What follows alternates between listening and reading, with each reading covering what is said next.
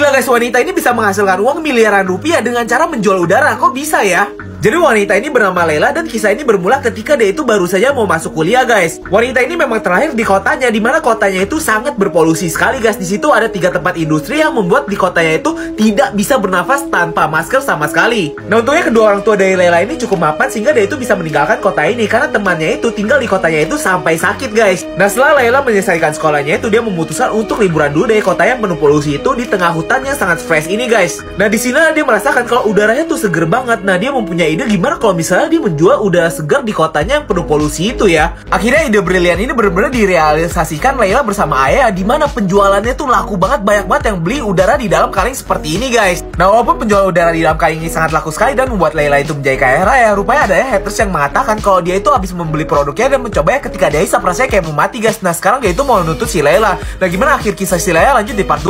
Part 2 kisah seorang wanita yang menjadi miliarder setelah menjual udara kosong. Jadi setelah dipanggil oleh wanita yang tidak menyukai produknya itu, akhirnya wanita ini langsung mencoba produknya sendiri dan dia merasakan kalau memang udaranya itu nggak enak banget buat dia pingsan guys. Akhirnya Lela dituntut dengan denda yang cukup besar di mana produknya ini sudah membahayakan orang dan kalau misalnya ditemukan ada orang yang meninggal karena produknya ini, dia akan dituntut lebih besar lagi. Setelah kejadian ini, akhirnya Lela itu penasaran sekali kenapa di dalam botol udara kosongnya itu bisa bau busuk banget kayak ada mayat di dalamnya guys. Dan akhirnya dia itu nanya ke gurunya dan gurunya mengatakan kalau udara itu juga adalah makhluk hidup guys. Jadi bisa saya membusuk loh. Dan mencari lebih dalam lagi, kalau memang udara itu mau diteliti lebih lanjut lagi, dia itu harus mengeluarkan biaya yang cukup besar. Akhirnya Lela ini menutup usahanya karena dia itu tidak punya biaya yang cukup besar. Nah baru saya mau menutup usaha yang sangat menguntungkan itu, akhirnya datanglah investor dari dalam kotanya Lela itu yang mengatakan dia itu sangat suka sekali produknya ini. Akhirnya investor itu menginvestasikan dana yang cukup besar sehingga Lela ini bisa berjualan lagi guys. Gila guys, wanita ini bisa mengeluarkan jiwanya ketika dia tertidur. Nah gimana caranya ya? Kok bisa?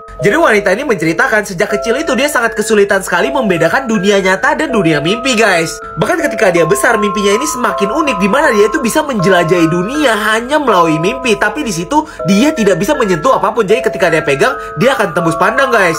Nah suatu hari akhirnya dia itu tersadar kalau ini bukanlah mimpi belakang di mana dia itu sedang bermimpi dan dia itu pergi ke rumah tantenya yang sedang terbakar. Tapi ketika dia bangun rupanya beneran rumah tantenya itu tetangganya bener-bener kebakaran guys. Dan untuk meyakinkan dirinya sendiri kalau dia itu bisa mengeluarkan ketika ketika dia tertidur akhirnya dia itu pergi ke museum yang besoknya dia mau pergi dan dia melihat beneran barang-barang yang di museum itu 100% nyata guys berarti ini dia itu bisa mengeluarkan jiwanya Nah setelah mengetahui kemampuannya ini akhirnya wanita ini mau pergi ke rumah tantenya. Soal di rumah tantenya itu ada satu ruangan yang dia itu nggak boleh pergi sama sekali guys. Nah setelah masuk ke dalam ruangan itu dia itu melihat banyak foto-foto seperti ini guys. Apa yang disembunyikan oleh tantenya itu nggak akan kalian percaya guys. Lanjut di part 2 ya guys Kisah wanita yang bisa mengeluarkan jiwanya ketika dia tertidur part yang kedua. Jadi setelah masuk ke dalam ruangan rahasia tersebut, dia itu tidak bisa menemukan apa pun kecuali foto-foto yang digantung di dalam ruangan tersebut dan akhirnya dia itu mau menanya kepada tantenya ini. Ketika ditanya hal ini, tantenya itu benar-benar tidak mau ngomong apa-apa dan tiba-tiba tantenya itu nangis dan mengusir wanita ini guys. Suara tangisan tantenya itu bahkan terdengar sampai keluar jalanan ketika dia itu mau pulang guys. Tapi esok harinya tiba-tiba tantenya itu masuk ke dalam kamarnya dia.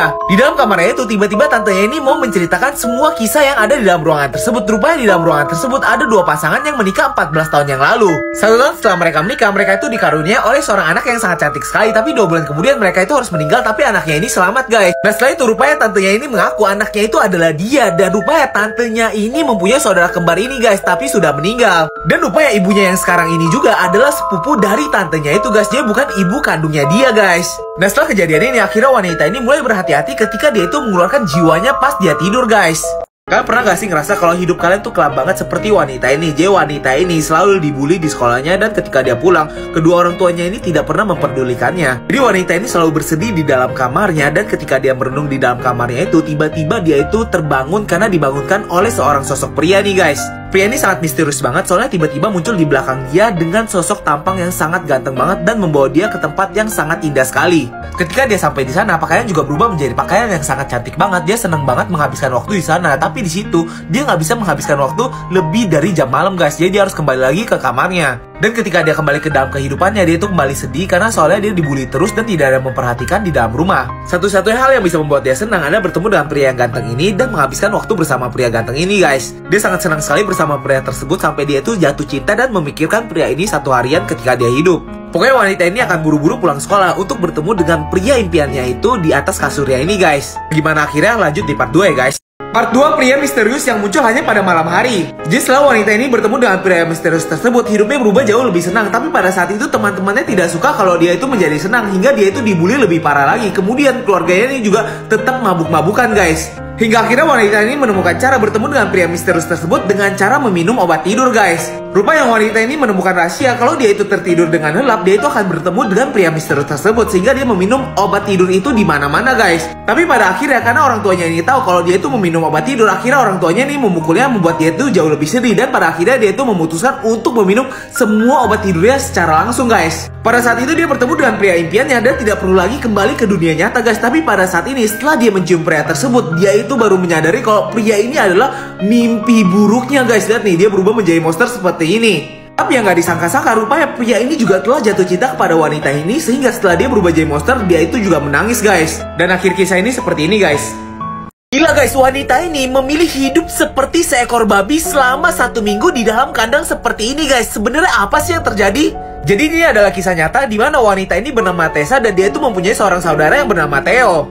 Nah di sini rupanya Theo adalah seorang vegan dan pada suatu hari mereka itu sedang sarapan bersama guys. Pada saat itu Theo ini sedang memakan burger babi dan si Theo ini langsung menegurnya dan pada saat itu Theo ini tidak senang dan memarahi si Theo nih. Rupanya pada saat itu juga Theo ini menantang kakaknya itu hidup sebagai seekor babi selama satu minggu. Kalau dia berhasil dia akan diberi semua hadiah yang akan diterima oleh Theo ketika Natal. Kan merasa tantangan ini sangat mudah, akhirnya Thea itu setuju dan dia itu masuk ke dalam kandang seperti ini guys. Dia itu cuma bisa berdiri atau tertidur seperti ini. Dan untuk melengkapi tantangan ini juga, sekujur tubuh dari Thea ini diselimuti oleh lumpur dan air seperti ini guys. Dia bau banget deh. Dan gilanya lagi guys, Thea ini juga tidak diperbolehkan pergi ke WC soalnya katanya babi itu nggak pergi ke WC sama sekali. Tapi akhirnya kakaknya ini boleh ke WC kalau dia itu dilumuri oleh kotoran babi seperti ini. Lanjut di part 2 ya guys. Part kedua wanita yang memilih hidup seperti seekor babi selama satu minggu. Jadi ini udah jorok banget di mana wanita ini akhirnya dilumuri dengan kotoran babi seperti ini guys. Katanya babi itu juga tinggal atau hidup bersama kotorannya seperti ini. Kemudian esok harinya wanita ini terkena demam karena hidupnya itu udah jorok banget guys. Dia bilang kalau babi itu di peternakan gak kena demam karena memang disuntik dengan hormon yang sangat mengerikan. Nah pas dia demam ini anjing peliharaan dia tuh datang ngeliatin dia dan menggonggong karena sangat khawatir guys dia ngerasain banget itu hidup seperti seekor anjing juga soalnya di dalam kandang seperti ini. Tapi di sini saudaranya jahat banget dia mengusir anjingnya dia bilang kalau seekor babi itu tidak memerlukan teman dan akhirnya anjingnya itu memanggil orang tuanya dia nih. Orang tuanya sangat marah sekali melihat anak perempuannya ini hidup seperti seekor babi dan akhirnya melepaskan anaknya ini guys dibiarin mandi dan bisa tidur lagi. Dan akhirnya pada titik ini dia menyadari kalau hidup sebagai seekor hewan di peternakan itu sangat mengerikan sekali. Kalau dia punya anak dia itu akan diambil untuk untuk diternakan kemudian dimakan oleh manusia guys. Tapi pada titik ini dia juga tidak berhasil menjadi seorang vegan guys.